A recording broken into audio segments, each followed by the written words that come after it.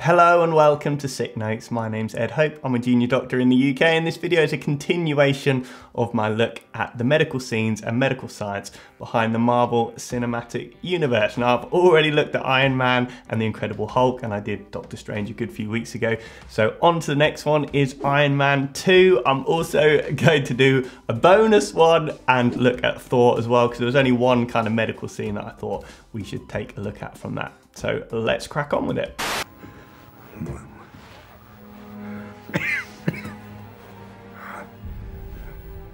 So we meet Ivan here, the show's villain, and show his motivation as well that his dad's died and his dad was cast away from Stark Enterprises. And it's a nice little touch here. We can see at the side of the bed some ice cubes, often what we use when people are at the very end of their life and they don't have the energy to eat or drink. They can still get quite a dry mouth. So we can have these little sponges we can use to help wet the mouth for comfort, or we can also use some ice cubes as well. So someone's done their homework there.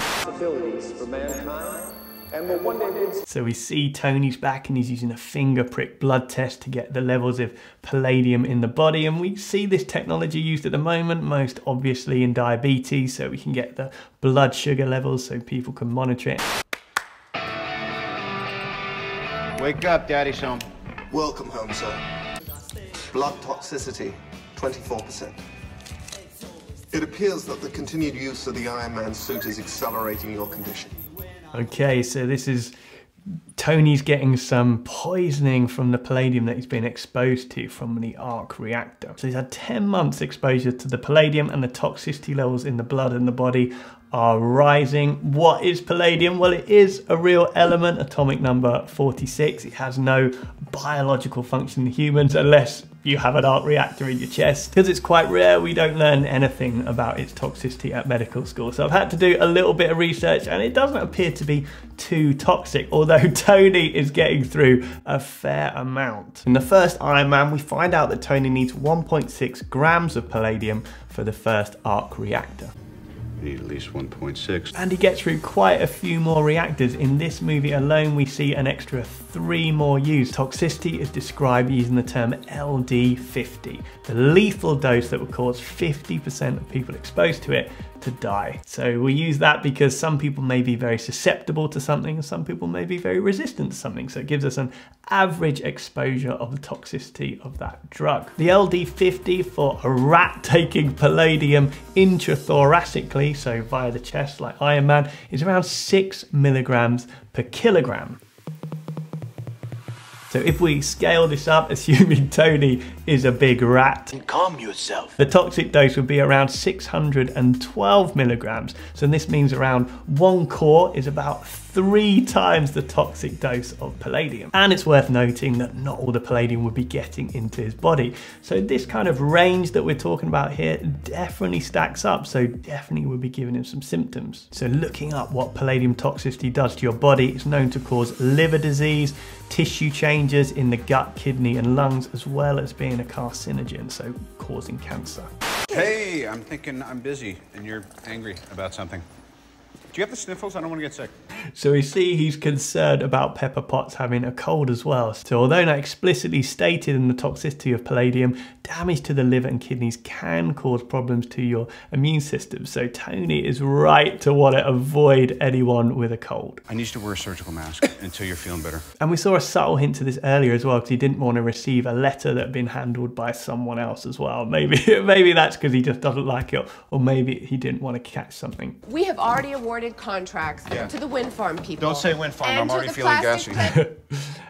And we hear here this could be evidence of some gut problems. And finally, the most visual thing we see here are these kind of weird, torturous, black distended veins around the arc and in his neck as well. We get engorged veins in liver disease actually. This would only happen in the abdomen, so not in the chest and not in the neck, so that's definitely not it. And these don't look red or angry or infected. They just look very black and distended. So probably most likely something like varicose veins that you you see in the legs normally. And these are engorged blood vessels because the valves in the veins have been damaged. So therefore all the blood sits in them. So maybe the palladium is actually damaging his blood vessels, damaging the lining, meaning he's getting these engorged blood vessels. That's my best guess anyway.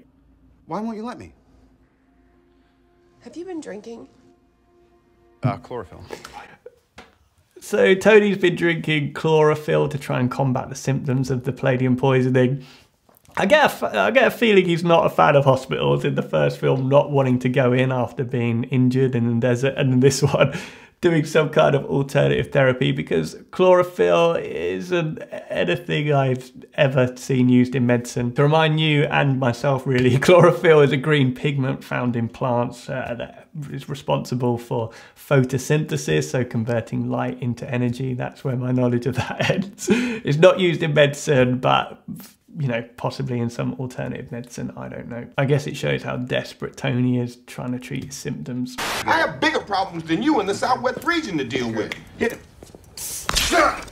oh, God, you're gonna steal my kidney and sell it? Would you please not do anything awful for five seconds? Okay, so uh, Nick Fury's got some pretty good medical tech over at S.H.I.E.L.D. He's able to get rid of these distended veins in the neck, so treat some of the symptoms of the palladium poisoning. Again, we get this intramuscular injection in the neck. What is the deal with that? Um, it could have gone anywhere. What'd you just do to me? What do we just do for you? That's lithium dioxide. It's going to take the edge off. We're trying to get you back to work. Okay, cool. So they've given him lithium. We've probably all heard of it in batteries or the Nirvana song Lithium. It is a, a drug that we use in medicine to treat bipolar disorder. It's uh, a metal, atomic number three, and you know, when people are on it for bipolar disorder, we do need to monitor their blood tests as well because it too can have toxic side effects. So it's definitely not a treatment for palladium poisoning. In fact, lithium can also damage your kidneys, like we found out about palladium. So wouldn't be recommend doing this drug regime. Fight's coming to you. Great. Pepper, Are you okay now? I am fine. Don't be mad. I will formally apologize I am when I'm not fending off a hemorrhoid attack. Fine. Nice little hemorrhoid gag, having worked in uh, lower GI surgery before. I appreciate that. So this is an interesting thing I spotted actually. So Mickey Rourke, who plays the villain in this, Ivan, his fingernails here, can you see they look quite curved? What I'd suspect is clubbing. Now, if you've had fingernails like this your whole life, that wouldn't be anything wrong. But if you're you actually acquire this, so over weeks or months, then this can be a sign of sort of serious underlying disease of the lungs, the heart, or even the GI system as well. It's Agent Romanoff's assessment of you. Read it. Uh, personality overview. Mr. Stark displays compulsive behavior. In my own defense, that was last week. Prone to self-destructive tendencies. I was dying. I mean, please, and aren't we all? Textbook narcissism. Agreed? So, narcissism is where an individual has a high opinion of their appearance or self importance. Um, it comes from the Greek mythology of a figure who fell in love with his own reflection. Narcissistic personality disorder is in the DSM 5. I'll just pick out a few of the criteria that applies to Tony. So, a grandiose sense of self importance. Turn. I don't know why you're. Expo is your ego going crazy. Although Tony is pretty good, a preoccupation with fantasies of unlimited success, power, brilliance, beauty, a belief that he or she is special and unique, Wow. Look at that. That's modern art. a need for excessive admiration, sense of entitlement, a lack of empathy, Our collection, considering the time that I put in over 10 years curating that. It's a tax yes. write-off. I needed that. and a demonstration of arrogant behaviors or attitudes. I mean, it's pretty much anyone on YouTube, actually. Tony Stark does display all, if not most, of these things at various points. Um, people with narcissistic personality disorder um, often find it hard to maintain long term re- relationships and more likely to abuse substance as well. Next up, it's the debut of the God of Thunder, Thor. Only one scene to break down in this one after he gets run over by Jane Foster. He ends up in the hospital. Just taking a little blood. How dare you attack the son of Odin? Need some help. I'm here to help. Ah.